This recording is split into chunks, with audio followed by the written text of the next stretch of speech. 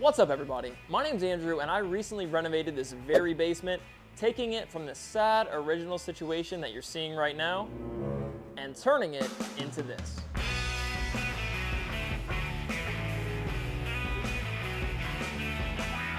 This video is gonna go through every aspect of the basement finishing process from start to finish. And the first couple minutes of this video is gonna be a time lapse of the entire basement renovation process so you can see exactly what went into finishing it. If you like what you see in the time lapse, you can watch the rest of the video, which is gonna go through every single project that you saw in the time lapse in detail and show you how to do it yourself. So if that sounds good, drop a like down below, subscribe to the channel, and enjoy this basement finishing video.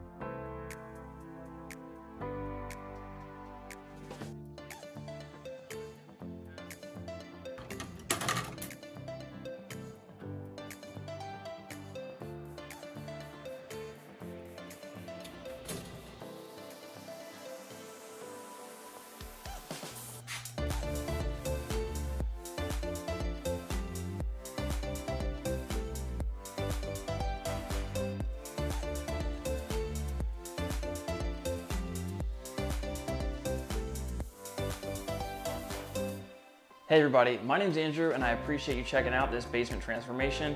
If this video is giving you some value, I really would appreciate if you could drop a like down below. It really helps me out with the YouTube algorithm. And if you enjoy DIY content like this, consider subscribing. Thanks.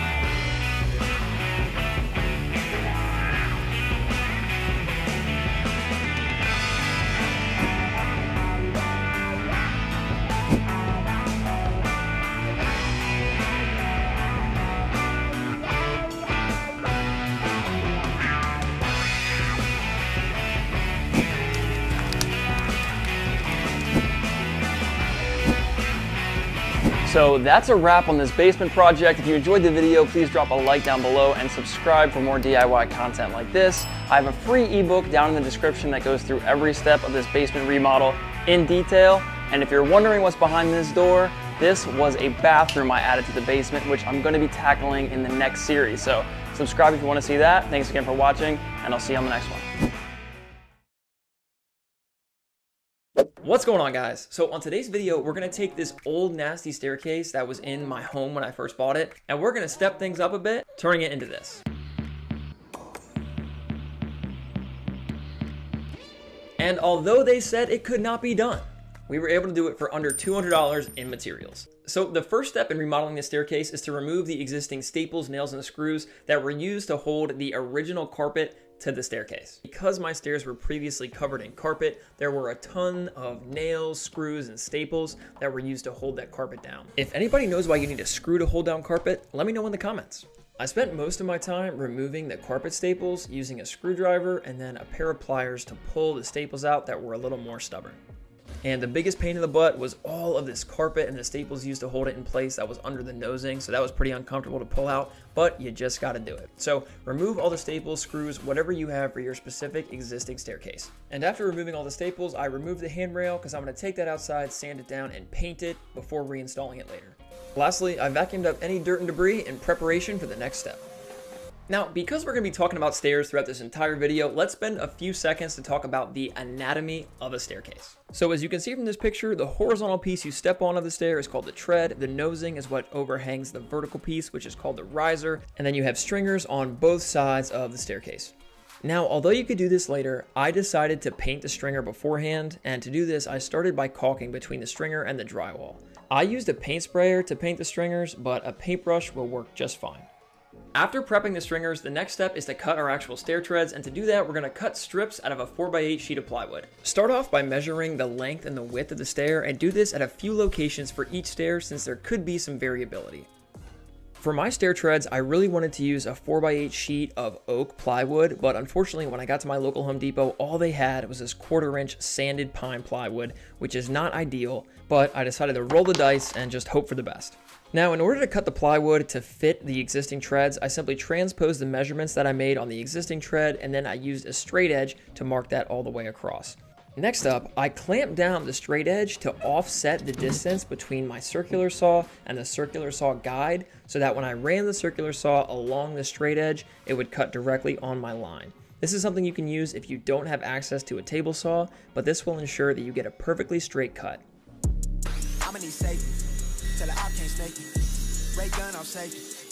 Gun.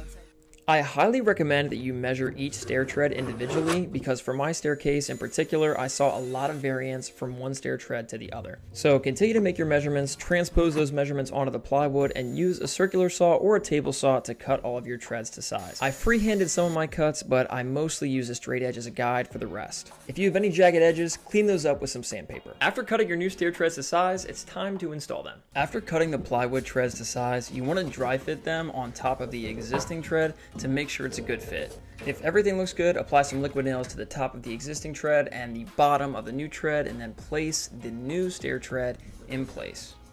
Apply a bit of elbow grease to make sure that the new tread is embedded in the construction adhesive, and then use a handful of brad nails to secure it permanently. Make sure that the new tread is flush with the existing riser with some sandpaper. And here I am moving on to the next stair tread, applying construction adhesive to both the existing tread and the bottom of the new tread, and then placing it on top firmly embedding it into the construction adhesive, and then again, using a bunch of brad nails to secure it in place. So I actually borrowed this electric framing nailer from my brother-in-law, which reminds me I should probably give that back. But I also have a pneumatic nail gun, and I'll link all the tools that I use in the description down below. Also, feel free to use some weights to help push the new treads down into the construction adhesive. Next up, we need to cut the bullnose or the nosing, which is gonna go on the front of the stair that gives it that rounded look. Let me show you what I mean. And just like the stair treads, I really wanted to use an oak hardwood strip for the nosing, but they only had pine common wood, so again, I decided to try to make some, some lemonade out of these, these pine lemons. So I'm using my router here and a 3 quarter inch roundover bit. I'll link all of those in the descriptions to give myself a nice rounded bull nose on both sides of the pine piece of 2x1. This was pretty iterative, but it was pretty fun after putting on my respirator. It's a nice satisfying rounded look once you get it right, and clean up any jagged edges with some sandpaper. Next up, measure the length of the stair near the nosing and cut your nosing and or bull nose to size. I used a miter saw, but you can use a circular saw just as easy. After cutting the bull nose to length, you're going to go ahead and position it in place on the front of the stair, and you want to make sure that you use a good amount of wood glue before actually pushing it into place. Additionally, you want to make sure that the nosing is at least flush with the tread, or maybe a little bit higher than the tread, and you can sand it down later. Then, use brad nails to secure it in place. After installing the tread and the nosing for the first couple stairs, I repeated the process going one by one down the rest of the staircase. After getting the treads on, continue to apply glue to the back end of the nosing and then push it up against the stair tread so that it protrudes a little bit higher than the stair tread. We're to sand that down later so it's flush. If you plan to stain your stairs, you really want to make sure that you remove any wood glue that might get on the stair treads or the nosing because if you don't, you're going to have the issue I had in just a few minutes. Also, when you're attaching the bull nose, you want to make sure that the nosing is a little bit above the stair tread. That way, if it's a little bit above, you can sand it down. You don't want it to be below because then you have to sand down the plywood, which is already really thin. After installing all the stair treads and the nosings, it's time to prepare to stain the treads. And if you're gonna be staining your stairs, I recommend that you start with a wood conditioner so you get a more uniform stain. I used a wood stain manufactured by Varathane and just applied it using a cloth to the surface of all the treads and the nosing. So I spent a lot of time going back and forth picking the right stain for my stairs, and I still messed it up. But what are you gonna do? So, do you remember when I said to make sure that you get the wood glue off if you plan on staining your steps? Well, here's why. As you can see, it is extremely blotchy where I attached the nosing to the stairs because I clearly didn't get all the glue off, even though I thought I did a kind of good job. So I had to get a little creative and I purchased some gel stain and gel stain is a little bit better than the oil base because it kind of sits on top of the stair and you can kind of get away with a bad glue wipe off job. So I bought this stain, I applied it over the existing stain and although I didn't love the color, at least I got a uniform look. Hopefully you can learn from this mistake. So after applying your stain, I highly recommend that you apply a polyurethane top coat. And polyurethane is basically a, you know, like a polymer plastic coating that gives you a layer of protection over your stair treads. And because we had to use pine plywood for this, since they were out of hardwood, it's a much softer wood that will dent like crazy. So I did like three or four coats of this polyurethane to give it the most durability possible. I applied the polyurethane top coat using a paintbrush and it starts off kind of white but dries clear. So for my staircase, I chose to reuse and just paint my existing risers except for the bottom step where there was no riser at all. So the first thing I did is I took a 2x6 piece of lumber, I put it in with some screws, and then I had some leftover hardboard from my cabinets, which I basically just cut as a riser and stuck it in place. But if you want to replace all your risers, you can buy something called hardboard from your local big box store, and that's going to work just fine. So here I am cutting out the leftover hardboard from my cabinets to use as a riser on the bottom step and I'm cleaning up any jagged edges with some sandpaper. Next, apply the new hardboard riser to the step and use construction adhesive and brad nails to secure it in place. Next up, you're going to want to caulk where the risers intersect with the treads and also the intersections of the treads and the stringers. And to do this, I just masked everything off with tape and then applied an even bead of caulk. You're also then going to want to go back and paint everything to your desired color. I went with an ultra pure white semi-gloss for the stringers and also for the risers. I said that weird. And at this point, all that's left are a few finishing touches like installing LVP flooring, which will be another video, installing some trim at the new riser and the new LVP flooring that we installed, and then removing the painter's tape to reveal the final result. Here's a quick reminder of where we started. And here's a look at the final result.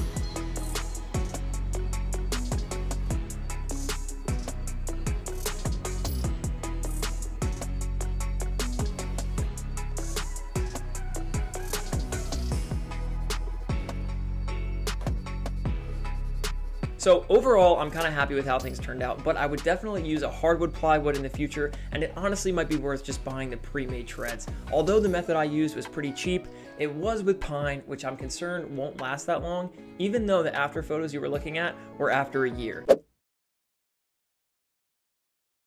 What's up everybody? On today's project, I'm going to show you how to install rigid foam insulation on basement walls. This will include how to trim it to size, how to apply the adhesive, how to trim around obstructions like windows, and how to tape the seams so that you can ultimately install drywall and finish the basement if that's your desire. So without wasting time, let's get into the video. So when I bought this house, the basement was a mess, and the previous homeowner looked like they started to finish the basement, but it's a good thing they didn't because everything was a disaster. With everything out of the way, the first step in installing rigid foam insulation is to measure the height of your basement basement walls. In my case, they were around 7 foot 8 inches, so I had to trim a little bit off the 8 foot sheets of this rigid foam insulation, which is made by Owens Corning under the name Foamular. So I marked the height and then I used a 6 foot level as a straight edge, and you're going to use a utility knife to score along the surface of the foam, and then you can basically snap it in half like you're seeing now. It cuts pretty similar to drywall in terms of the score and snap procedure. Repeat the scoring and snapping procedure for all the pieces needed for your project. So a quick note, before you actually install any kind of insulation in your basement, you need to make sure that you don't have any kind of water issue.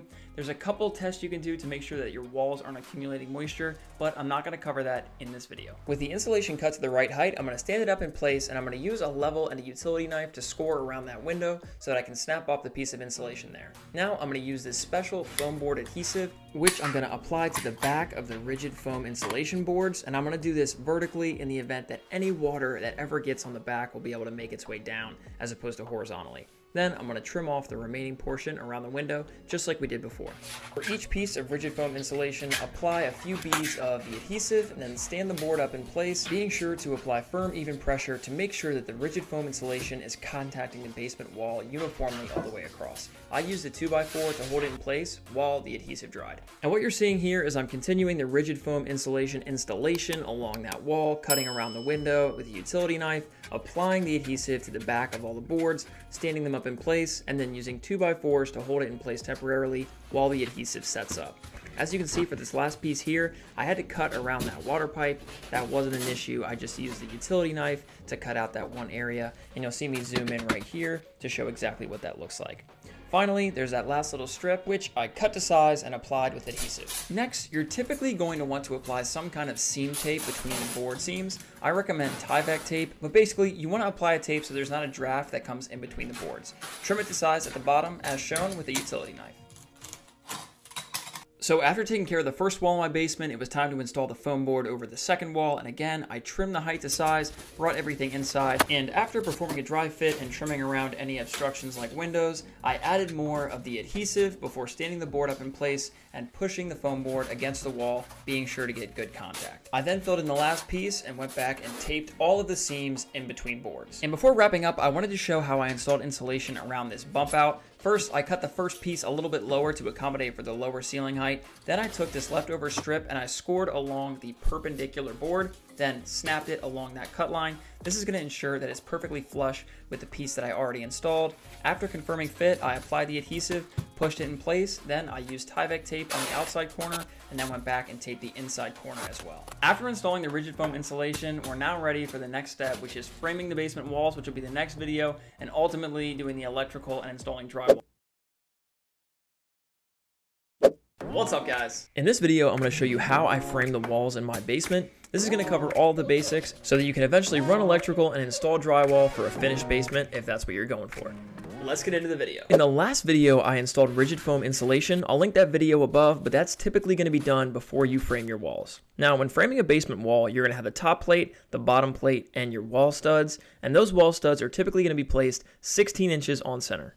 The bottom plate is going to be in contact with your concrete slab, so that needs to be pressure treated, and the top plate can be standard kiln dried lumber. The first step in framing walls is to measure the wall height, which is the distance between the floor slab and the joists above. Measure in a few locations, and the shortest measurement is what you want to frame your walls to. So if you measure the wall height to be, say, 90 inches between the floor slab and the floor joists above, you're going to want to cut your studs to 87 inches to make up for the half inch top plate and the half inch bottom plate. So whatever the total wall height is, subtract 3 inches, and that's going to be your stud length. After cutting your studs to length, you want to take your top plate and bottom plate, and I recommend that you run the tape measure along, marking 16 inches on center all the way across. This is by far the fastest way to do it, but I decided to do stick framing, which is where you individually cut the studs after you lift the wall into place in my basement, which was pretty inefficient looking back. Additionally, you want to make sure that you crown all of your studs, making sure that each board is facing crown up. Then I recommend that you use 3.5 inch nails and a framing nailer to secure the two outermost studs. Here you can see that I'm using two nails per connection to nail the top plate to the studs, and then I'm going to do the same thing with the bottom plate, which is pressure treated, attaching the studs through the bottom like you're seeing. Next, you're going to lift the wall into place preliminarily. I recommend that you actually mark the wall location on your floor slab using a chalk line, and then when it's in place, you want to secure it to the slab using a carbide tip drill bit to actually drill through the board and into the concrete slab, and then using Tapcon screws to secure it in place. After anchoring the bottom, use a level to make sure that the wall is perfectly plumb, and if everything looks good, you can anchor it to your joist above. In this part of my basement, there was a little bit of a bump out, so I took a furring strip and I attached it to the wall by pre-drilling with a carbide tip masonry bit and then using Tapcon screws to anchor it. And then I established a line going from the front of that furring strip to the end of my wall. And then what I'm gonna do is when I frame my wall, the outermost part of that wall is gonna be flush with the furring strip. You'll see what I mean in a second. So right now I'm cutting the bottom plate and the top plate and then I'm crowning the boards like we did before to make sure everything is crowned up. Then I'm installing the outermost studs and then I'm going to nail it in place once everything looks good. And as I mentioned before, I recommend that you put in all the studs before you lift it into place. Don't be like me. Now, as you can see, I have the wall on that chalk line. So basically when I attach the drywall, it'll go into that furring strip and line up perfectly with the wall that we just installed.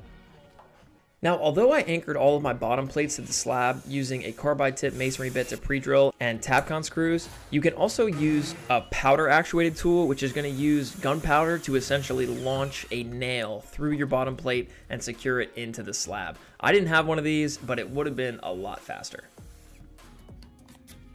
So for some reason, I decided to mark my stud spacing and cut my individual studs once the wall was already lifted vertically. I don't know why I chose to do this. It ended up making the process a lot longer, but here I am showing how I installed those after the fact by custom cutting each stud, positioning it in place 16 inches on center, and then making sure that the studs are perfectly flush with the top plate and bottom plate. And because we cut our walls to the shortest dimension so that they would be able to be lifted into place, you might need to shim before actually anchoring the top plate to the joist above. Here I am moving on to a small sump closet, which is just a closet I'm building around my sump pump, and I'm framing all three of these smaller walls individually. I'm getting the first wall position there, and then I'm going to frame up the second smaller wall, and I'm going to position that in place before cutting the final wall, which is going to have the door that I'm going to install later on.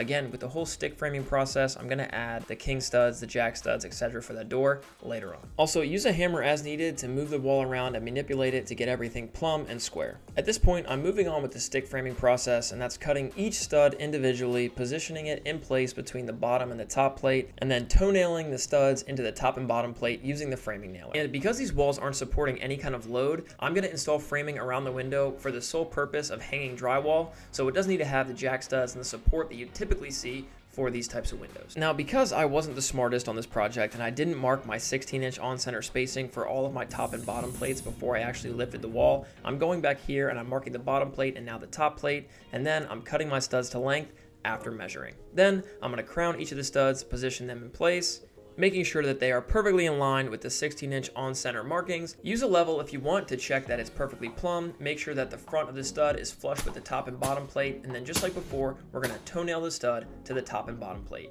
Use two nails per connection.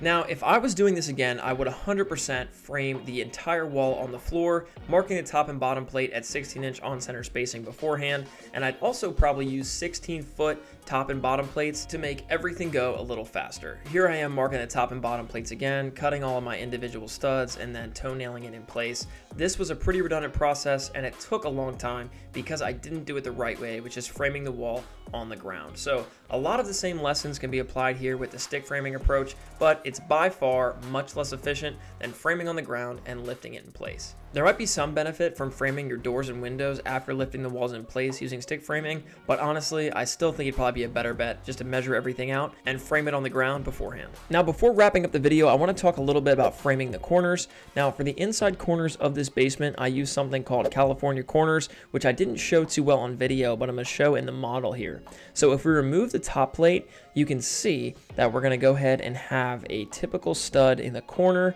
that you're always going to have, but you're also going to turn one stud sideways and mount it to the inside face of the other stud. This will accomplish two purposes. One, it's going to allow you to insulate better, and two, it's going to give you a backing for the drywall or gypsum board you're going to be installing later on.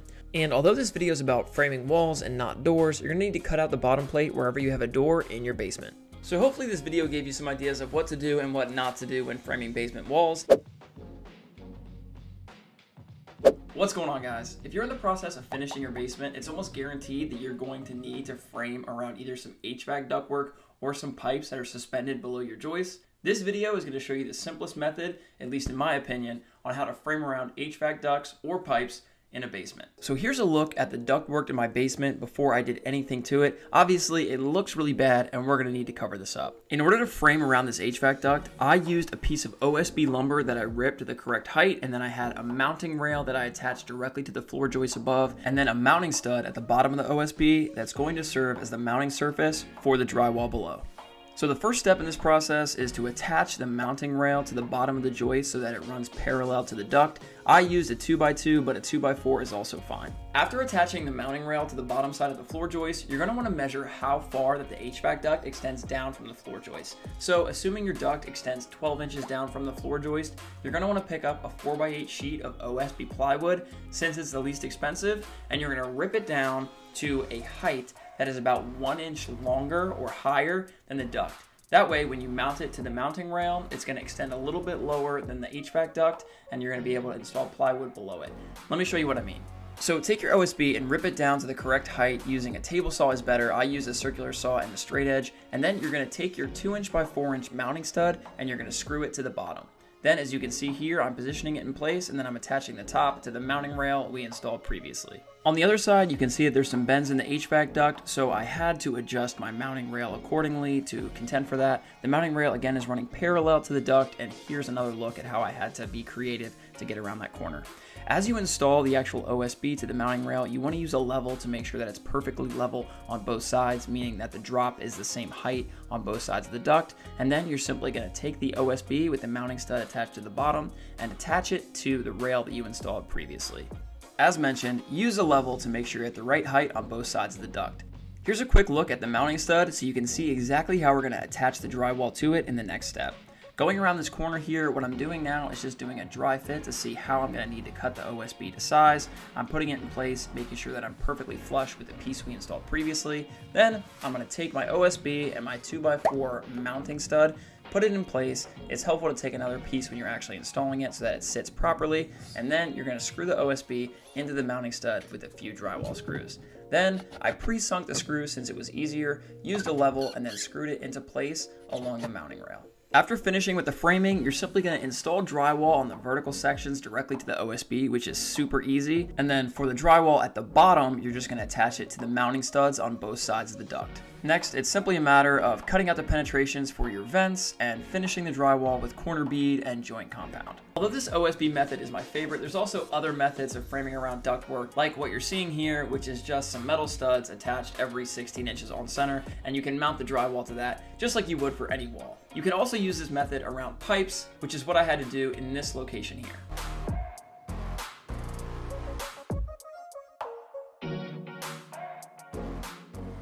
In the next video, we're to install electrical in preparation for the drywall installation.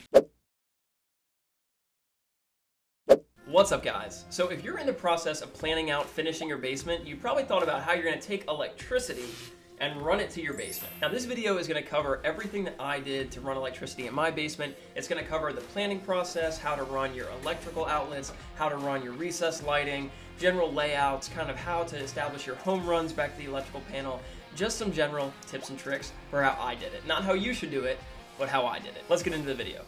So before we can actually add electricity, we have to insulate and frame the basement, which I did in the last two videos. So after framing the basement, it was time for electrical, and the first thing I did is I marked 16 inches off the floor with a chalk line. This is gonna indicate the bottom of the outlets, and then I also marked 24 inches off the floor, which is gonna be where I drill the holes where I'm gonna run the wire above the outlets. I'm gonna be running 12-2 Romex cable, so I'm drilling half-inch holes through all of my studs. I'm gonna link the 12-2 Romex cable down in the video description, as well as all the other products and materials I use for this project. Now, before we go any further, a quick disclaimer, I am not an electrician, I'm a DIY guy and a professional sign spinner, so you should absolutely not listen to what I say. Take this for entertainment purposes only and consult a licensed electrician and probably have them perform it for any electricity in your house. You can see here that I'm running it a little bit closer to the wall since it's an exterior wall, but typically you want to drill right through the middle of your studs. After marking the outlet height, you're going to position the outlet box in place and there's tabs on the side of the outlet to make sure that you're a half inch in front of the stud.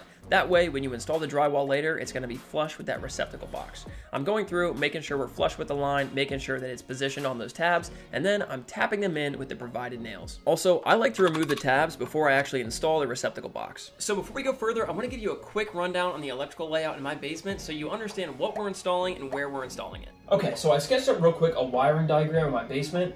Basically, when you come down the stairs, you have your first switch right here. That's what that symbol is and that controls these four recessed lights in the ceiling. And then all of these are outlet receptacles all around the room.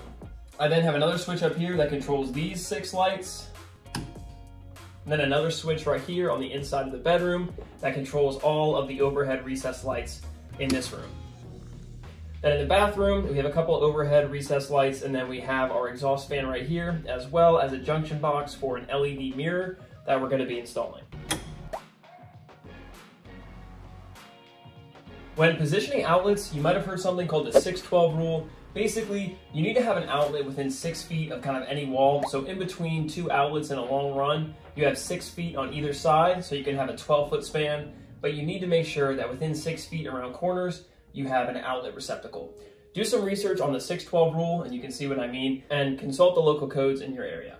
So after spacing all of our receptacle boxes according to the 612 rule, I started to run my 12-2 Romex cable, and basically I'm just running it from one box to the next. I'm gonna run power from the electrical panel to that first receptacle in just a minute, but for now, I'm just gonna run Romex from one box to the next until every single receptacle box that's part of that circuit is connected with Romex cable. So as I run from one outlet box or gang box to the other, you can see that I installed the protective plates to protect the wire every time that it crossed a stud. This is a requirement per code in a lot of areas. I also trimmed off the excess cable and wire that was coming out. You really only need about six or eight inches coming out of the box. Also, be sure to tuck your cable back within the box so it doesn't get in the way when you install drywall.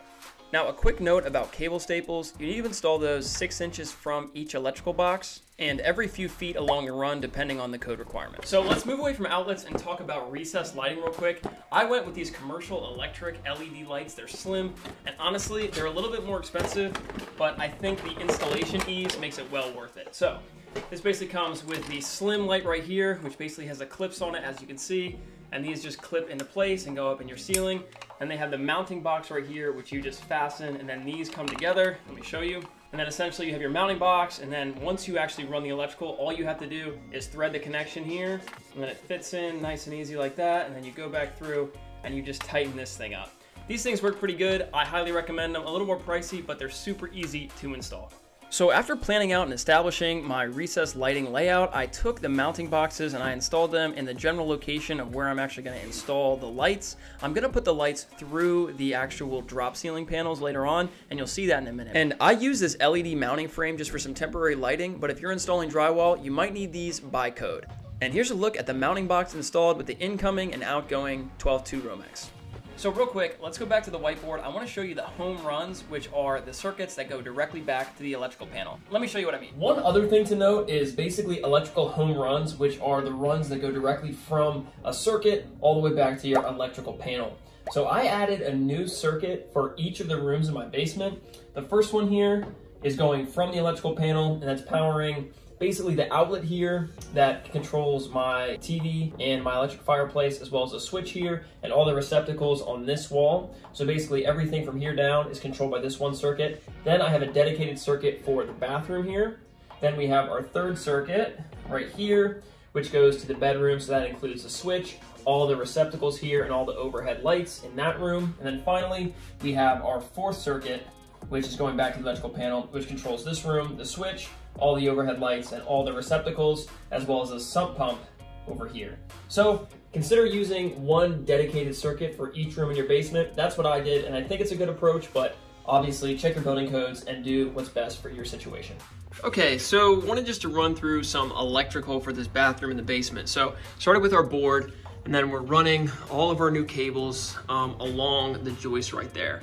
Now, something to note is that because we're using a drop ceiling, we can install them like this. Otherwise, you would want to run them through the joists like that.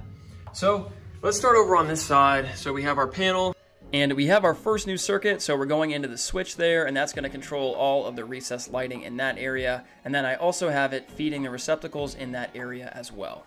And then we have our second 20 amp GFCI protected circuit for the bathroom. Most codes require that the bathroom has its own dedicated circuit anyway, and you can see we have that running down and we're gonna run this into the bathroom. We have our stud protectors, and that's gonna power a GFCI outlet as well as the LED mirror, the recessed lighting, and the overhead exhaust fan in that room. So at this point, I think you get the picture. Let's install the drywall and then we can talk about the finish electrical work.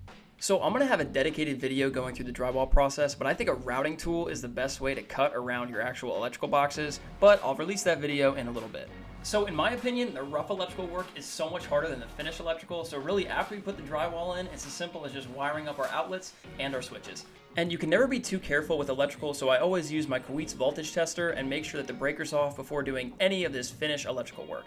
So I'm not going to go into the details of wiring a switch, but I installed dimmer switches throughout most of my basement. I'll link those products in the description if you want to check those out, and then you're going to put on the face plates. And I installed a GFCI outlet as the first outlet in my electrical run. And then here's a quick way to actually strip those wires for your outlets. This is a Kaiweets wire stripper. It makes it really quick, but traditional wire strippers work just fine as well.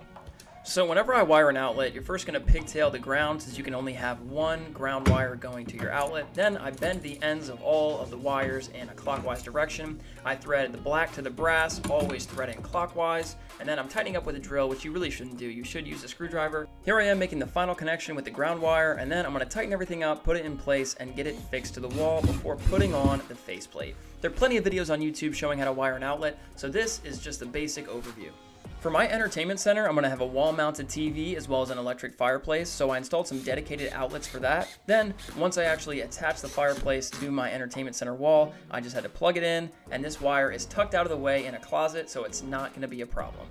Because my LED bathroom mirror was between two studs, I installed the drywall and then cut out the gang box with a drywall saw very carefully. This electrical box is for existing construction because it has fins that will allow it to mount directly in the middle of drywall. Then I installed the LED light in accordance with the manufacturer's instructions.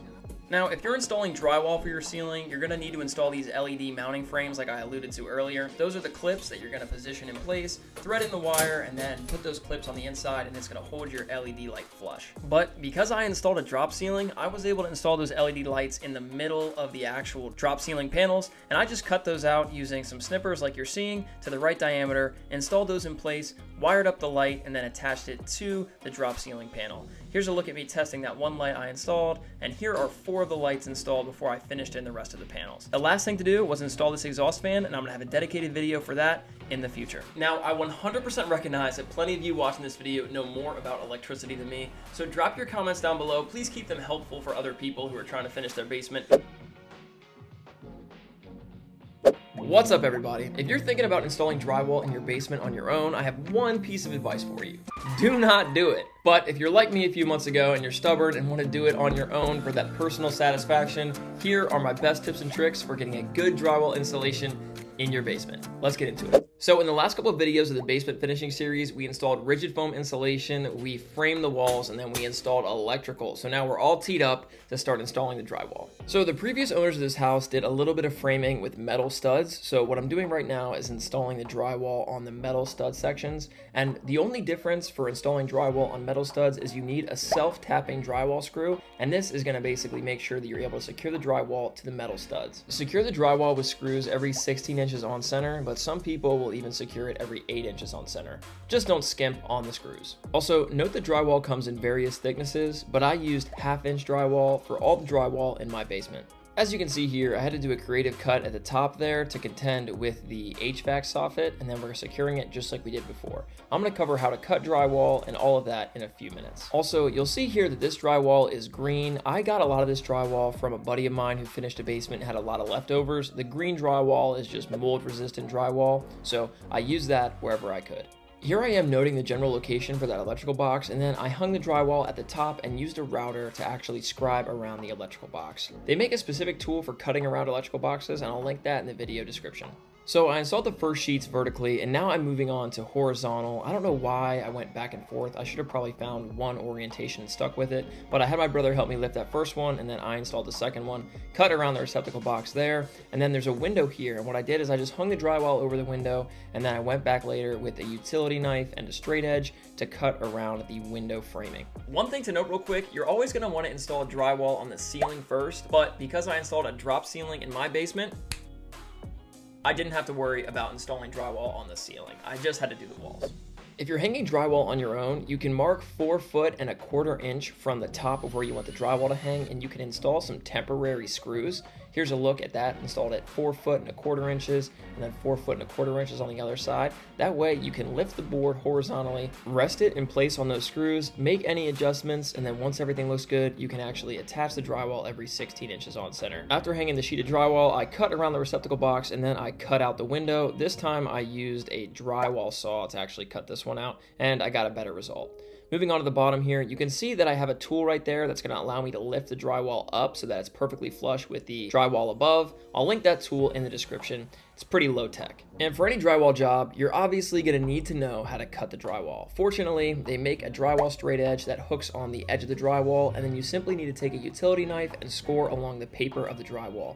Then it simply snaps right along that scored line really easily. Then just take a utility knife on the opposite side and cut the piece free.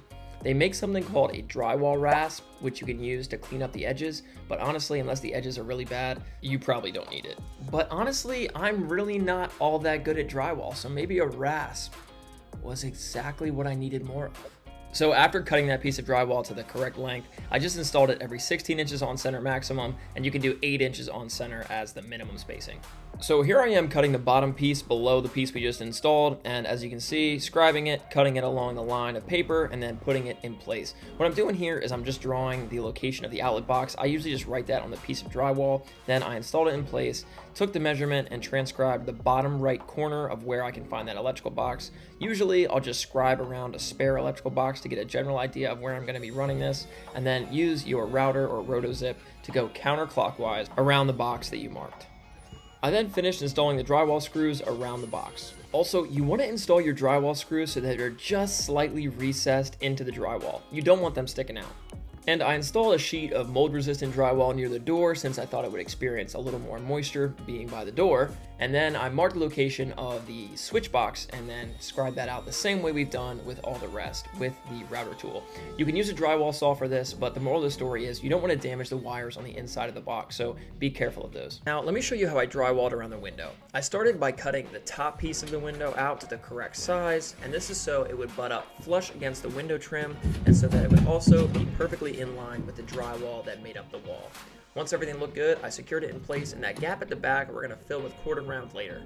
For the sides, I cut it to the right height and I left it a little bit long so that I could scribe along the face of the drywall, and then I simply scored along that line and cut it in place. That way, when I stuck the piece of drywall back in the window well, it was perfectly flush with the front of the wall.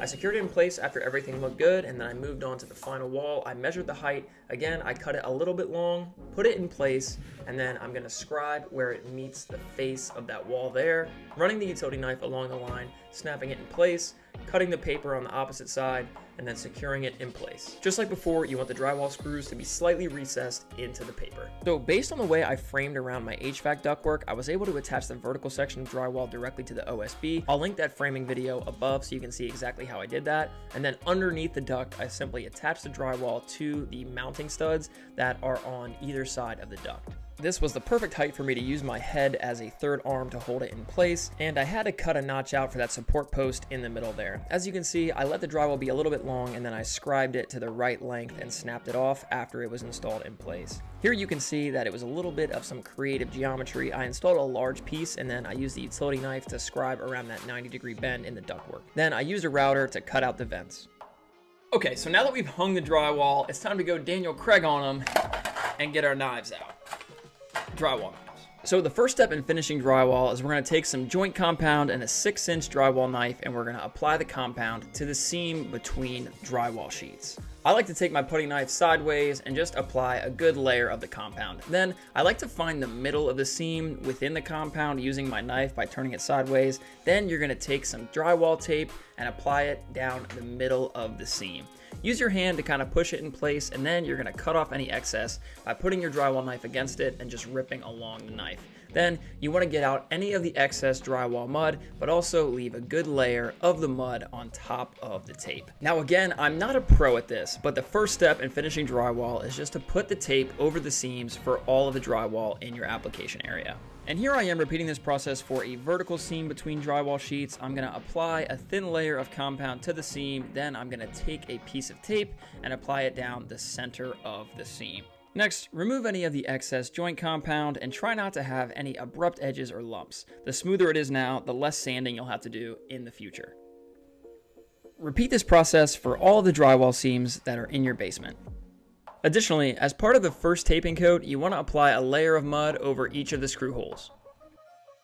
For inside corners, you're still to use drywall tape, except the tape has a crease down the middle. What you're to do for the inside corners is just fold the tape along that crease to get a 90 degree angle like you're seeing here, then you're gonna apply mud to the corner, stick the crease tape at the 90 degree angle within the inside corner, and then apply a little bit more of the mud. Let me show you what I mean. So for this inside corner, I'm applying a little bit of the joint compound to both sides of the corner. Then I'm creasing the tape down the middle to get a 90 degree angle, pushing the tape into the corner, and then smoothing out any of the excess joint compound. So although drywall tape can be used on inside corners, outside corners require something called corner bead. There's a bunch of different types of corner bead, but for my drywall project in my basement, I went with paper face corner bead, which I basically just install right over top of the corners, and it gives you a nice smooth transition from one side to the next. So for this outside corner, I'm applying joint compound to both sides of the corner. Then I'm taking my corner bead, I'm cutting it to the appropriate height, pressing it into the joint compound, and then I'm removing any excess from behind the bead. Here I am showing how I got the length for the windows. Then I used some snippers to cut the corner bead to the right height. Then I repeated this measuring and cutting process for the top of the window and the other side. Then I applied joint compound to all of the surfaces, positioned and pushed the corner bead into place, and then I removed any of the excess joint compound with a putty knife. Again, try to make it as smooth as possible to minimize the sanding you're gonna have to do later. In my basement, I had to install a lot of corner bead around the soffit drop, around all the outside corners. It was a lot of work. This is one of the reasons why hiring it out might be the best bet. It really did take a lot of time for me to complete this. So after taping all the seams, inside corners, and outside corners with corner bead, here's what your basement will look like. So after installing the tape with our 6 inch knife, the drywall finishing process is basically just to use two more passes of a drywall knife to feather out the edge and make it less noticeable. So you start with a 6 inch for the tape, then you're going to use either a 10 inch or an 8 inch knife to go a little bit wider than the initial 6 inch and then finally, you're gonna come in with a 12 inch knife to make it even a little bit wider. The goal here is just to apply a couple coats of the drywall mud to make the joint as inconspicuous as possible. There's a lot of really great videos on YouTube that go into the drywall finishing process, and because I'm not a pro, I'm not gonna show you how I did it because there's better instruction out there. I just want to give you the overview of the process. So as I mentioned, here I am taking a pass with the 10 inch knife. I'm gonna feather out the initial six inch pass. Then I let that dry overnight, came back and did the 12 inch pass. And after that dried, it was time to sand everything down. Obviously, wear a respirator for this. I'm using a 120 grit sanding screen to sand everything down and get it smooth. And although this is a time lapse, this was a pretty iterative process. I ended up having to go back and apply a little bit more mud in a few locations. It's just a pain in the butt. And if you're not a pro at drywall, this is gonna take you a long time, which is why I said it's probably not worth it. You could probably have a company come in here, knock this out in a fraction of the time, and probably only for a couple thousand dollars, which is probably worth it. Another drawback of being a DIY drywaller is you're probably going to do so much more sanding than a professional would, which is going to result in a lot of dust and a lot of mess, which is another pain in the butt to have to contend with. And finally, after vacuuming up all of the remaining drywall dust, all that was left to do was to prime the walls and then I did one coat of paint to give us the final result that you're seeing now. Thank you guys so much for watching. I hope this video helped you out, and if it did, please drop a like down below and subscribe to the channel if you want to see how I installed the LVP flooring and how I installed the drop ceiling, which will be the next two videos in the basement finishing series. Thanks for watching. I'll see you on the next one. What's up guys? In this video, I'm gonna show you how to replace a basement window so that you can take old, nasty, or even broken windows and turn them into this. In this video, I'm going to show you how to remove the existing window, how to clean up the rough-in opening, how to install the new window, how to insulate around it, and finally how to make the final touches on the exterior. And I'm also going to show you how to trim out the interior for a finished basement look. Let's get into it. So when I bought this fixer-upper property, the existing windows were in pretty bad shape. They're the steel type that's cast into the actual concrete foundation, and the first step in actually getting these out was to remove the glass insert, and I just got this out of the way so I wasn't dealing with glass. You might have to use a little bit of elbow grease to actually remove these, but with a little bit of wiggling back and forth, it wasn't too bad. So after getting the glass panels out, here's a look at the perimeter of the window. As you can see, it's made of metal and it's basically cast into the sides and bottom of the concrete foundation, which is great when it's installed, but it's a little bit of a pain to actually remove it in the future. So after fumbling my way through the first two windows, I finally found out the secret, at least in my opinion, which is to cut the top center of the window. And once you cut that with a sawzall equipped with a metal blade, you'll be able to pry the sides out of place. At least I was. Use a pry bar to get both of the sides relatively loose, and once those are loose, you can start working on the bottom. You're basically gonna just pull and pry, use a pry bar as needed and get that loose, but I found that after you wiggle it back and forth enough, it'll kind of free itself from the concrete that it was cast in, and you'll be able to lift the entire window assembly out of place. After removing the existing window, use a vacuum to get rid of any dirt, dust, or debris that was left in place. Here's a look at the window. Not super pretty, but we'll clean that up in a minute. Now, finding suitable replacement windows for the old basement windows can be a bit of a challenge, but you just need to find something that's going to be slightly smaller than the existing rough opening in terms of length and height. So the replacement basement windows I found have these mounting flanges on the perimeter, but since those are for new construction, we're going to use a utility knife and snippers to cut those off. It really wasn't hard, just score along the window, cut the sides, and then you'll be able to bend them over and snap them off pretty easily.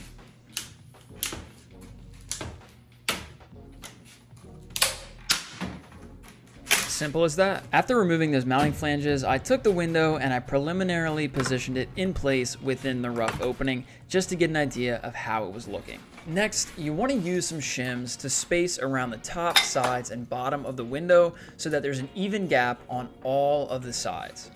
After putting in the first couple shims, use a level to make sure the window is perfectly plumb and then check to make sure it's perfectly level. Make any adjustments, add additional shims, remove shims as necessary, and try to get the even spacing around the entire perimeter and also make sure that your window is level and plumb. Once you're happy with how the window is sitting in place, you're going to take some window and door spray foam insulation and you're going to spray it in the gap between the window and the concrete foundation. You want to spray enough insulation so that you don't have a draft going around the window, but try to minimize overspray because you're going to have to go back later on and cut off all the excess. Continue to apply spray foam insulation to all the gaps on the exterior of the window, and then I recommend that you go to the interior side of the window and continue to apply spray foam insulation to ensure that you don't have any air gaps between the window and the window's rough-in frame. I was filming as I applied this, so it doesn't look super great, and I have a lot of overspray, and I had to go back and fill in some areas, but hopefully you get the picture, and if you're doing it without a camera, it'll hopefully go a little bit smoother. So a quick note is that some windows have penetrations where you can screw through the window and into the foundation or into the framing above. Mine didn't, and from the research I did online, I found that that spray foam insulation, when you apply enough of it, it's gonna hold that window in nice and snugly, especially once we put in the concrete on the outside and caulk it in place. I've had these windows installed for over a year now and haven't had any problems, but if you want that extra security, look at ways to screw through the window into the foundation. After giving the spray foam a couple hours just to fully cure and harden, I took a utility knife and I scored and snapped the shims in place, and then I took a longer utility knife to cut off the excess spray foam by running it along the window to cut off any of the overspray. As you can see here, there was a lot of excess spray foam insulation, which was a result of me being a little heavy-handed on the spray foam insulation trigger, which is a lesson learned for next time. Here's a look at the spray foam that was removed on the inside of the window. Not perfect, but most of the excess was taken care of. And if your basement is unfinished and you were just replacing a broken window, you can honestly stop here on the inside. But on the outside, you're gonna wanna mix up some rapid setting concrete and make any repairs to the foundation along the bottom. As you can see here, we had a little bit of a bigger gap along the bottom of the window, which I filled in with the concrete there, and then I painted it to match the rest of the foundation. Then for the rest of the gaps on the sides and top, you're gonna use a high quality exterior sealant to seal around the window. And after caulking, you should have a window that looks like this. After finishing on the exterior, now we're gonna trim out the inside of the window so that you can get a finished basement look like this. Let's get into it. So here's where this project starts. As you can see, we already framed the walls and we installed the drywall in the basement. I have videos for both those projects if you wanna check them out. But the big thing to note here is that I framed the walls so that they were perfectly in line with the cinder block rough-in opening, and then I put the bottom of the windowsill framing so that when I put the windowsill on top of it, it's gonna contact the bottom of the window. You'll see what I mean in a minute. So taking the drywall, I'm cutting it to size with a utility knife, and as you can see here, I'm fitting it on the top so that it contacts the window and that it's flush with the front of that framing there. After installing that top piece of drywall, we're gonna cut the drywall for the side. So get your measurement from the drywall at the top to the windowsill there, and then cut the drywall to size using a utility knife and a straight edge. For more information on how to cut and install drywall, you can check out my drywall installation tips video.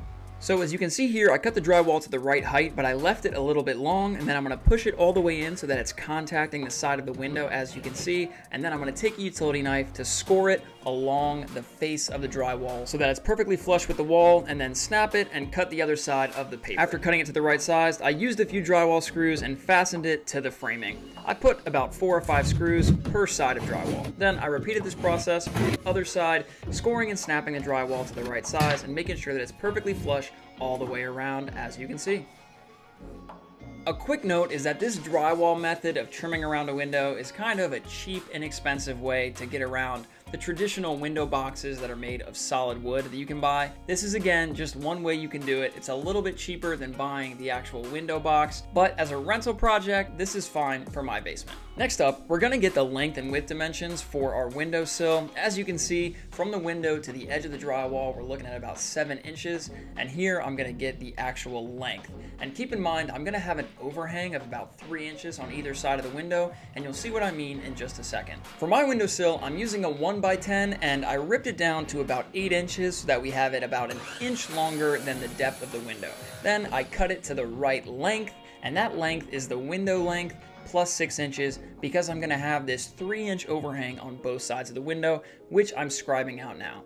So what I'm showing here is we're going to cut out that larger segment at the back and then that little part on the front is going to overhang the window and contact the drywall when we insert this windowsill into place.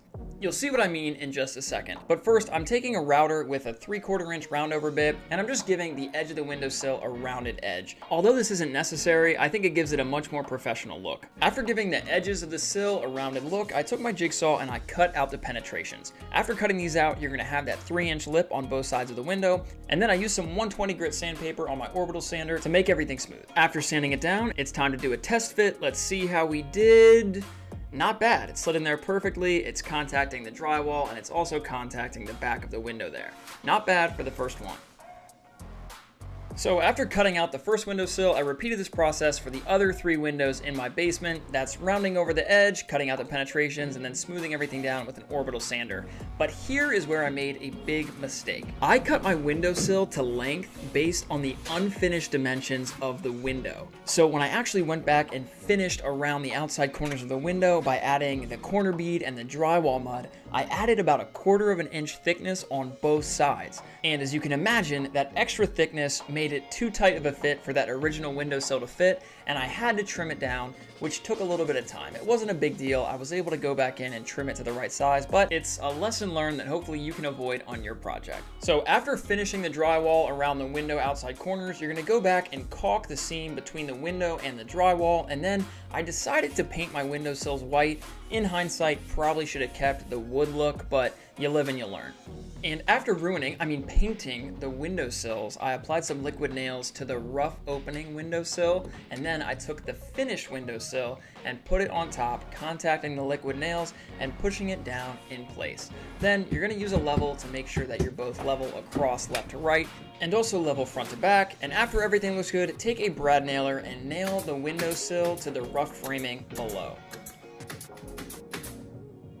And for the sake of full transparency, three of my windows went perfect. One of them had this gap at the top. I don't know if I mismeasured or what, but I filled that in with some quarter round that I glued and then nailed in place with brad nails. And at this point, I simply repeated the windowsill installation process for the rest of the windows in my basement. And again, that's liquid nails, install the sill, check for level, and then nail it in place. And for this slight gap underneath the windowsill, I applied caulk just like I did for the sides of the window. Sorry I didn't show that on camera. At this point, you've successfully trimmed out your window. Here's a quick reminder of where we started. And here's a look at the final result.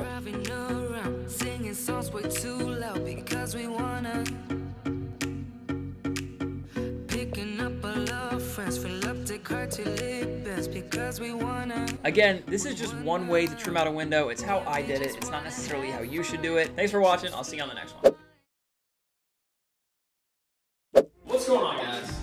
Project, we're taking this nasty basement floor and we're gonna turn it into this.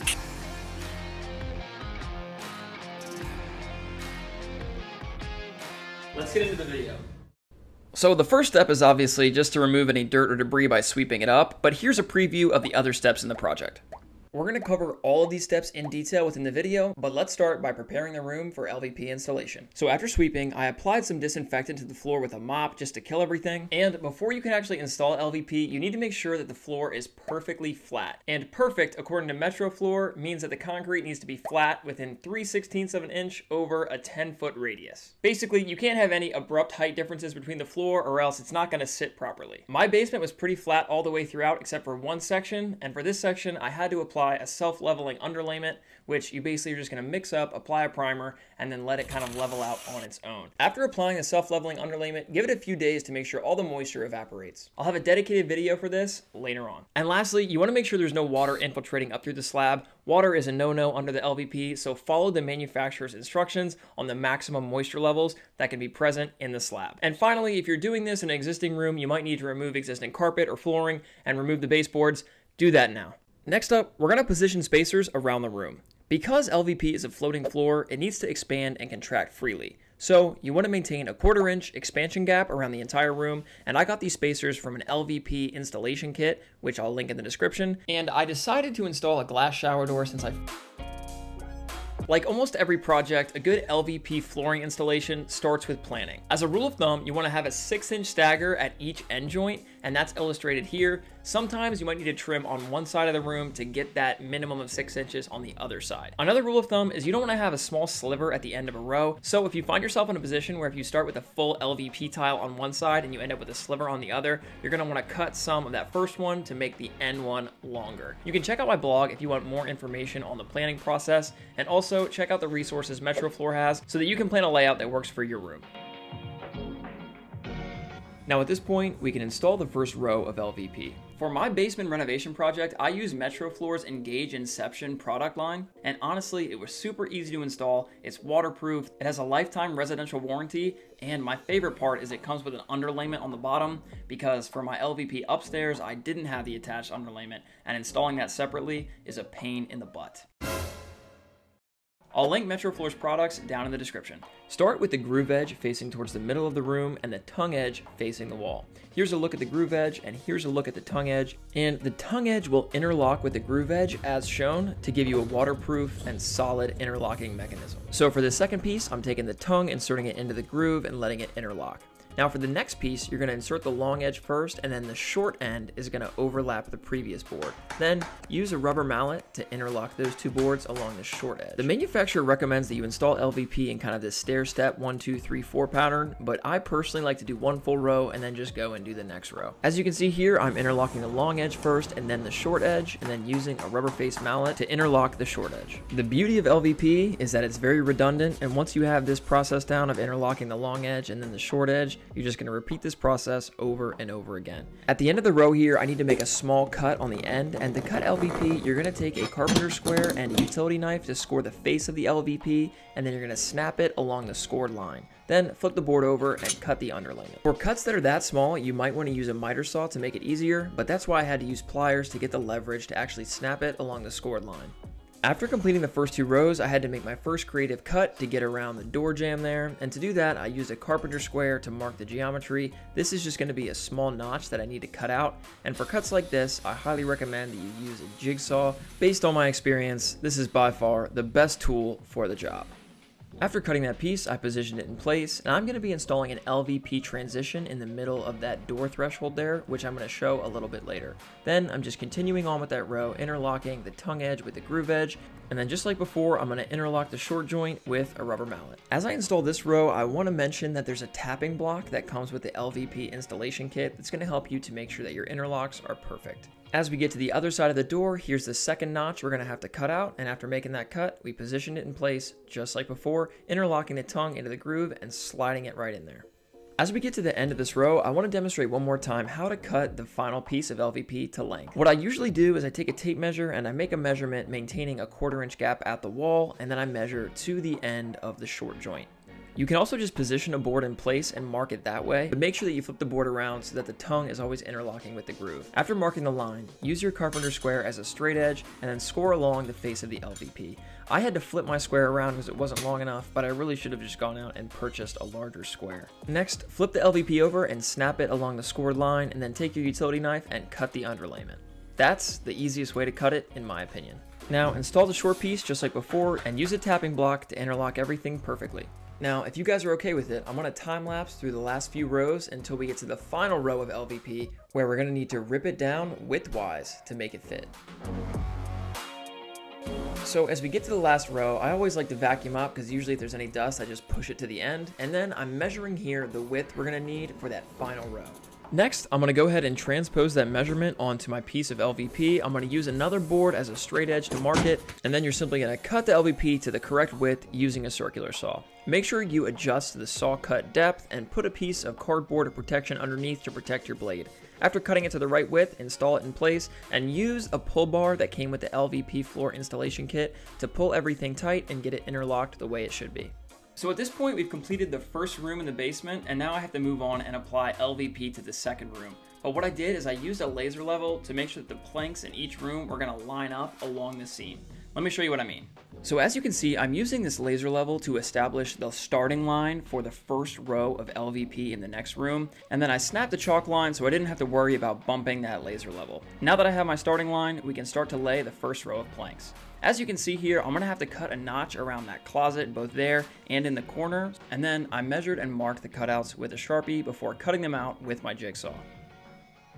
After cutting out those notches, I positioned the first piece of LVP in place, made sure that it was lined up with the chalk line we snapped, and then I continued with the installation process. As you can see here towards the end, I'm going to score and snap this last piece so that it lines up perfectly with that transition molding that we're going to install in between the door threshold, and then I simply continued on with the installation process up towards the door. These couple rows were tough because I was basically going backwards, inserting the groove end into the tongue, but with a little bit of patience, you can make it work. And then for these last rows, I had to use the pull bar, obviously, to get the interlock. Once I finished that row, I got some help for these remaining rows, which made it go by super fast. Now, we have this support column in the middle of the basement here, and this is where you need to measure beforehand because you need to ensure that you're gonna land in the middle between two planks because if you land in the center of a board, you're never gonna be able to get that on there. So to mark this cutout, I had this roll of tape that was just about the same diameter as that support column. So I marked that and then I used my jigsaw just like before to cut that out. After getting that half circle cut out on the first board, I positioned it in place around the pole and got everything interlocked. As you can see, a pretty good fit. And then I finished out that row so I could cut out the other half circle for the other side of that support column. So again, I marked it the exact same way, cut it out with my jigsaw, and then I positioned it in place around the pole. Overall, it was a pretty good fit. Obviously, you're going to have a slight gap between the pole and the LVP, and to seal that up, I just used some caulk.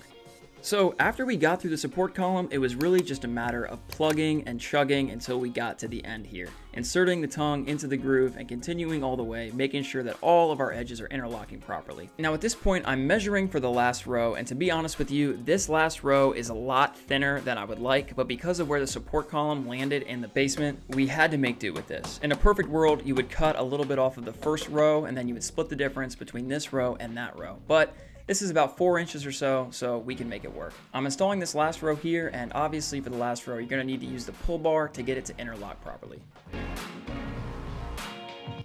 To install the transition moldings, you're first going to measure how long it needs to be, and then you're going to cut the aluminum track to size using a miter saw. To transition between the two rooms, I'm using a T-molding since the floor is at the same height in both rooms, and you're just going to cut the T-molding to the correct length. Next, position the mounting track in place and mark the screw locations. And because we're on a slab, we need a hammer drill and a carbide tip masonry bit to drill into the concrete. Insert the concrete screw anchors into the holes you pre-drilled, and these came with Metroflor's transition moldings, and you're going to do this for all the holes that you pre-drilled. Next, I use some adhesive and I position the track in place before screwing it down. Then you're going to take your T-molding and it's going to snap right into the track and use a hammer to make sure it snaps properly.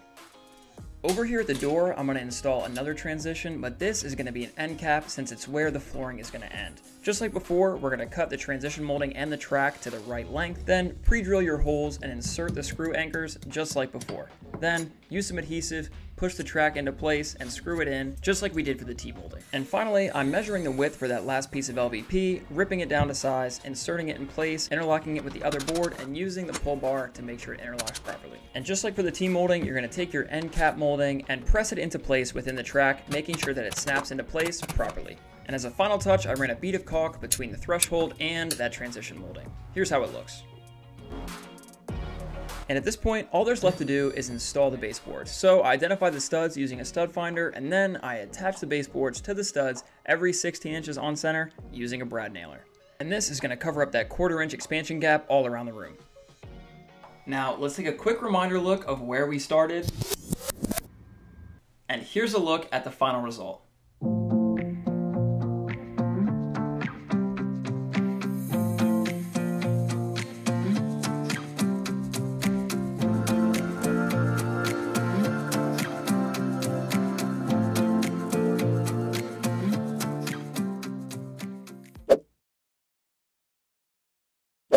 What's up everybody? In today's project, I'm going to show you how to install an Armstrong drop ceiling in a basement. This video is going to cover every step of the drop ceiling installation process, from how to plan your layout, how to install the wall moldings, how to install the grid, and finally, how to install the drop ceiling panels and cut out the penetrations for recessed lighting. I think this drop ceiling looks fantastic. Let's get into it. Okay guys, so we have a lot to cover in this video, so let's start with step one and plan out our ceiling grid layout. So it really shouldn't come as a surprise that a successful drop ceiling project starts with planning. If you're a little bit old school, you can use some graph paper and a calculator to map out your room grid, or you can use Armstrong Ceiling's online resource, which allows you to enter your room dimensions, enter the size of your panels, enter the ceiling joist direction, and it's gonna calculate how many panels you're gonna need, and it's also gonna figure out the width of your border panels. It's pretty handy. Let's take a look at this example room, which is 132 inches by 104 inches. If we look at the horizontal run, you can see that we have room for five full 24 inch ceiling panels, which leaves us with 12 inches left over.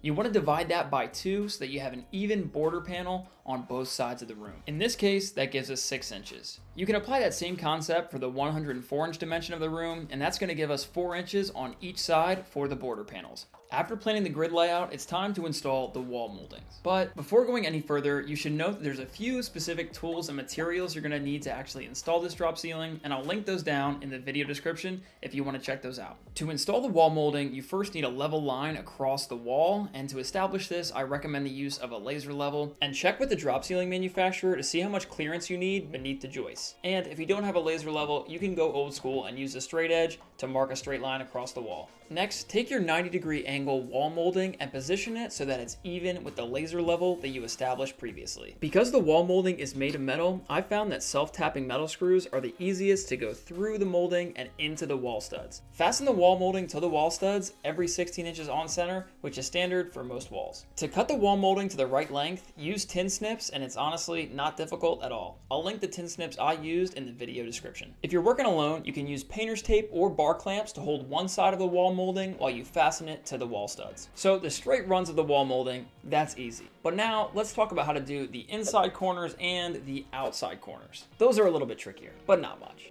So in this corner of the room, I'm going to demonstrate the inside corner here, and according to the manufacturer, you're going to butt up the two edges as shown. I found myself tucking one into the other, but that's probably not recommended. Now for the outside corner here, you can see that I got it level with that laser line, then I taped it in place, and now we're gonna cut a 45 degree miter using tin snips. The first thing I did was I marked where it was in line with the wall, and here's a quick representation of the 45 degree angle with a pencil. So I'm cutting the straight line first with the tin snips, then I'm gonna flip the wall molding over and cut that 45 degree angle. So after cutting both 45 degree miters, here's the inside corner and I can have the first 45 on the outside there. Then I'm gonna take the second 45 and butt it up against the first 45. This is just a quick mock-up for illustration purposes and don't worry, I'm gonna erase that pencil mark. So after cleaning up those 45 degree miters off camera, I'm gonna attach the wall molding to the wall using self-tapping screws, just like before. There's the first piece, and here's the second piece that I'm installing right there. Looks pretty good. Continue to install your straight runs, your inside corners, and your outside corners of wall molding all around the room until you have a level wall molding all throughout. And after installing the wall molding, now's a good time to install any kind of soundproofing or insulation since the next steps are just gonna get in the way of doing this. After installing the wall molding, it's time to install the hanger wire or the quick hang grid hook. So on the perimeter of the room, the drop ceiling grid is gonna be supported by the wall molding, but in the center of the room, the grid is supported by either hanger wire or for residential projects like mine, quick hang hardware, which is much easier to install. Here's a look at the quick hang bracket, which attaches directly to the ceiling joist. And then we have our quick hang hook, which when we squeeze this together, we can slide it through like that turn it over, and then when we squeeze the tabs here, we can adjust the height of the hook. This is super simple to adjust and way easier than hanger wire. Let's install it. Because the quick hang hardware is used to support the main beams, we need to position it so that it's either one border panel's length away from the wall or a border panel's length plus 24 inches, which is the size of one standard ceiling panel. So what I'm doing here is using a tape measure to measure the distance, which is the border panel's length plus around 24 inches, giving me about 30 inches from the wall. And then I used a laser level to establish an even line all the way across. If you don't have a laser line, you can tap in a temporary nail and use a chalk line to snap it. And this is gonna indicate exactly where you need to install the quick hang hardware on each of the joists. To install the quick hang hardware bracket, position it where you mark the line and then hammer in the temporary tabs to hold it in place temporarily. Then you can either use two nails through the tabs there or just one screw right down the middle. Continue to install quick hang brackets so that the spacing does not exceed 4 feet between them. After installing the quick hang brackets for the first main beam, repeat the exact same process for the next main beam, which is going to be located 4 foot away from the first main beam. Snap a chalk line and attach the brackets to the joist just like before. At this point, you can install the quick hang hooks by pushing the tabs together and inserting the hook up through the perforations. If you have an obstruction at the top, like I do with this insulation, you want to bend the hook out of the way as opposed to cutting it. Insert the quick hang hooks through all of the quick hang brackets that are part of your installation area. To set the height of the hooks, I recommend that you use a string line at the top of the wall molding, and the idea is that the bottom of the hooks will be even with the top of the wall molding. Squeeze the tabs together and adjust as needed. After installing the quick hang hardware, it's time to prepare and hang the main beams. But not so fast. You can't just go install a full piece of main beam because you need to trim the end of the main beam so that the cross T slot on the main beam is a border panel distance from the wall. This is gonna give you the perfect size opening for the drop ceiling panel we're gonna install later. So after determining how much of the main beam you need to cut off based on your grid layout, use tin snips to cut the top of the main beam first and then the bottom. This will give you a flat piece of beam that you're gonna rest on top of the wall molding. Place the cut end on top of the wall molding as shown, and then you're gonna use the quick hang hooks to go through the circular perforations in the main beam. If you need to connect two pieces of main beam together, you're gonna grab one side, grab the other, and there's tabs that you're gonna force into place and you should hear an audible click when it interlocks properly. Note that you'll have to cut the length of the second beam so that it interlocks with the first beam and so the end which you cut will land directly on top of the wall molding as shown. Repeat the process of measuring the main beam, cutting the main beam, placing the cut edge of the beam on the wall molding, hanging the main beam from the quick hang hardware, and finally interlocking two pieces of main beam together for all of the rest of the main beam you need for your project. Remember, the main beams need to be four feet apart. After installing the main beams, it's time to prepare and cut the border and cross tees. Let's start with the border tees, which are gonna go between the main beam and the wall molding. Position one end of the cross tee so that it's flush up against the wall, resting on top of the wall molding, and I like to mark in the center of the main beam for where I'm actually gonna cut that cross tee. After cutting it, you're gonna flip it around, put the cut edge on top of the wall molding, and then insert the uncut edge into the main beam. Repeat the process of measuring, marking, cutting, and installing the second border cross tee, and then we're gonna install two full four foot cross tees between the main beams in line with the first two border cross tees. The full four foot cross tees are super easy to install since they don't require any trimming. Just put them in the right perforation and then click it into place. And after that's done, we're gonna square the grid. To check if your grid is square, you're gonna measure the diagonal distance between the opposite sides of a two foot by four foot grid opening, and if that measurement is the same, the grid is square. If you measure both diagonals and it's not the same, you might need to do a little bit of trimming or tweaking until the measurements are the same. Don't proceed with the installation until confirming that your grid is square. After confirming that the grid is square, it's time to install the remaining grid and level the system. To install the remaining grid, I recommend that you start by installing the rest of the border cross tees, then install the 4 foot cross tees between the main beams, and then I would go back and install the 2 foot cross tees that go between the 4 foot cross tees. This is because we're using 2 foot by 2 foot ceiling panels. If we were using 4 foot by 2 foot panels, you wouldn't need to install those 2 foot cross tees between the 4 foot cross tees. Hopefully that makes sense. Install all of the remaining cross tees until your grid is complete. Lastly, take a magnetic level and stick it to each of the main beams to confirm that your grid is perfectly level. If you need to make any adjustments by adjusting the quick hang hooks, do that at this stage. At this point, we finally got to the fun part and we can install the drop ceiling panels. Armstrong manufactures a bunch of different styles of ceiling panels. I went with these 24 inch by 20 inch shallow coffers and also these 24 inch by 24 inch flat white panels. I needed to use two types and I'll show you why in just a second. So the first thing I did was install all of the full panels of the shallow coffers, and to do that, you're gonna insert it into the grid at an angle and then drop it down into place so it rests on the grid.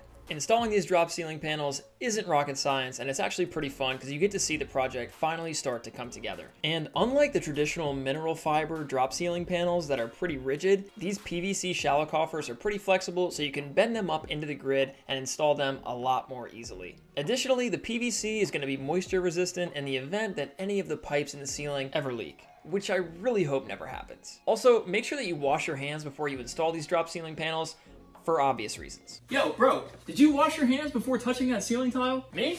No, why? Oh.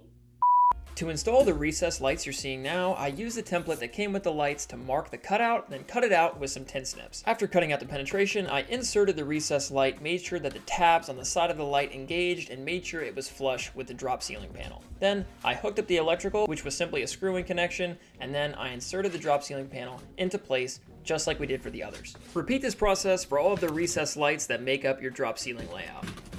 So at this point, we've installed all of the full 24 inch by 24 inch drop ceiling panels, and all we have left to do is to install the border panels, which are gonna require some cutting. Armstrong recommends that you don't cut the PVC shallow coffers, so that's why I had to buy the flat panels, which I'm gonna use for the borders. To install the border panels, first measure how big the border panels are gonna have to be, then use a straight edge and a utility knife to score and snap the PVC panels to the right size. After cutting the panels, install them in place and repeat this process for all of the rest of the border panels that are part of your installation.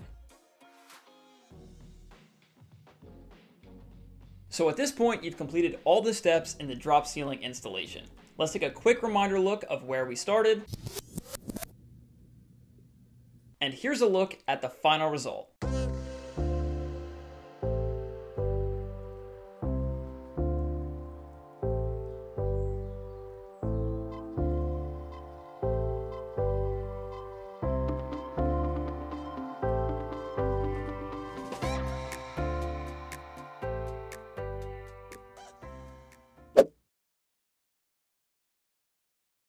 What's up everybody? On today's project, I'm gonna show you how I took this nasty, disgusting basement wall and turned it into this. This has a faux concrete wall, a wall hung TV, and an electronic fireplace, and I'm gonna show you how to install all of that. Let's get going. So here's the existing wall in my basement. Disgusting, as you can see. Was hoping to be able to keep the drywall, but immediate change order. It was moldy, it was gross, and because it's my house, that's coming out of my pocket. So now that we've removed the drywall and done a bit of cleanup work, let's talk about the overall design of this entertainment center wall. So this wall is going to consist of a faux concrete topper wall, a wall hung TV, and then an electric fireplace.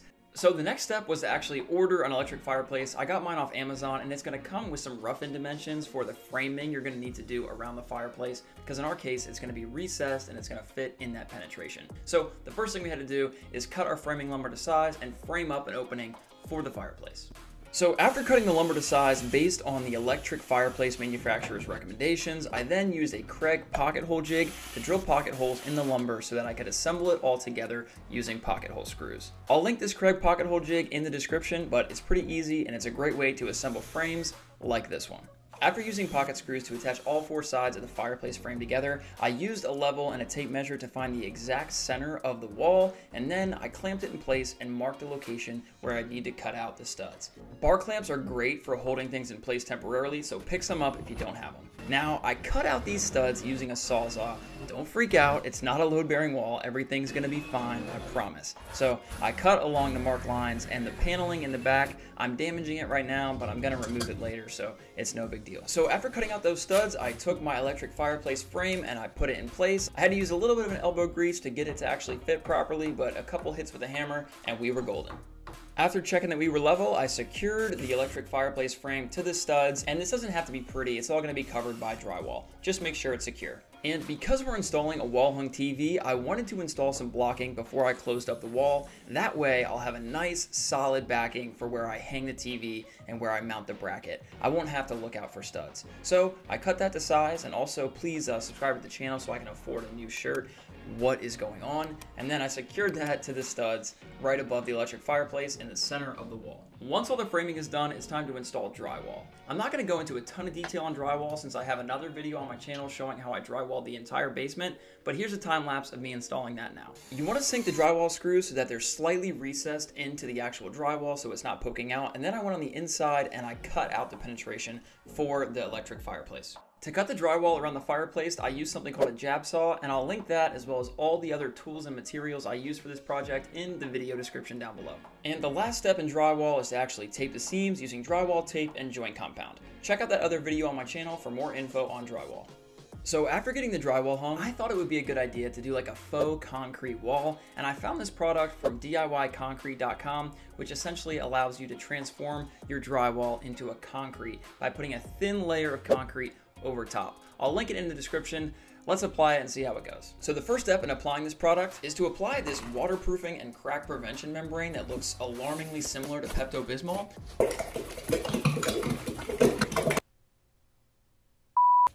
After dumping this product into the paint tray, use a nap roller and then we're gonna apply a thin layer of this to the entire application area. We're just gonna roll back and forth, kind of like you would paint anything else. Not rocket science, we just gotta get it done. So this membrane product is gonna serve two functions. One, it's gonna be a waterproof barrier since the concrete we're gonna apply is gonna have moisture in it. And secondly, it's gonna have a bit of elasticity, which is gonna minimize the amount of cracking that concrete will do in the future. Also, I don't want to miss the opportunity to show you guys the exact perfect positioning of a respirator on the face. And here's a look at our wall after we applied the waterproof membrane. After letting that dry, it's time to apply the base coat of concrete. The kit I ordered came with all the tools we're gonna need, and to get this party started, I mixed water and the base coat of concrete in a mixing bucket and used a drill with a mixer attachment to mix it up according to the manufacturer's instructions. Next, I put down some paper to protect my floor, which was pretty stupid considering my floor is horrific at this point. And then you're going to apply the base coat of concrete on top of the membrane.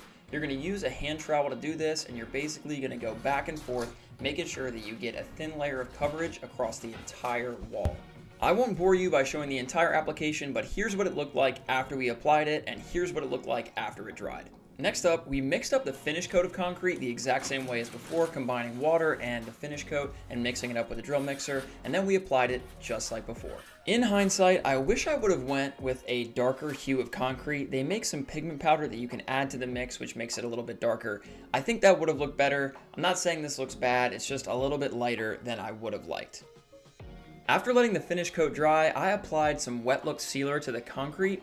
This is optional, but I just wanted to apply this to try to keep it looking clean and minimize the amount of staining that would occur over time. So both the wall hung TV and the electric fireplace are gonna need an outlet, and I actually wired up an outlet on the other side of that wall since I have kind of a closet which is under the stairs. And if you wanna learn more about the electric I ran in my basement, you can check out the video linked above. And there's a look at the outlet in comparison to where the fireplace is gonna be mounted, and then I went through all the electrical checks to make sure that it was wired up properly. Quick disclaimer, all electrical work should be done by a licensed electrician. So at this point, we're getting to the fun part and we can start installing the electric fireplace. First, we need to remove the faceplate and to do that, there's a mounting screw you need to pull off. And now I'm gonna take off the faceplate in preparation for the installation. Remember, we framed around the perimeter, so actually screwing this thing to the wall is gonna be a breeze. So at this point, I took the fireplace and I inserted it into the penetration. Fortunately, we pre-measured and we did everything right, so it fit in there just like it should. And then I took the faceplate and put it on preliminarily just to make sure that it was gonna cover the edges and that we did a good job on the installation. After I was happy with it, I took the faceplate off again, confirmed that the fireplace was perfectly level, and after checking that, I used the provided hardware that came with the electric fireplace, and I mounted the electric fireplace to the wall using the four screw penetrations as shown. After installing the last screw, I took the faceplate, mounted it on top of the fireplace, and then I reinstalled the set screw to lock it in place. After that, I grabbed the plug and I hooked it up to the power supply, which is our 20 amp GFCI outlet that we installed previously, and here's how it looks. Next up, we're gonna install the TV, but before that, I installed some MDF trim board on the sides of the wall and also some baseboard at the bottom to cover up those unsightly seams. Now, for the final and best part, I installed a 65-inch Vizio TV. I bought the mounting bracket online, and it was super easy to install because we put the blocking in previously. So I knew exactly where that was, and I just screwed it directly into that blocking. Then I had to drill a hole for the electrical connection going from the TV to the outlet. And then we took the TV cable, thread it through that hole, and then we mounted the TV to the bracket we installed previously. And with that, this project is complete. Let's take a quick reminder look of where we started. And here's a look at the final result. We've been driving around, singing songs way too loud because we wanna. Picking up our love friends, fill up the car till it bends because we wanna, we wanna. Yeah, we just wanna have fun. The trunk's full of. Okay guys, that's a wrap on this video. If it helped you out, please drop a like down below and subscribe to the channel this channel for more DIY content like this. Thanks for watching. I'll catch you on the next one.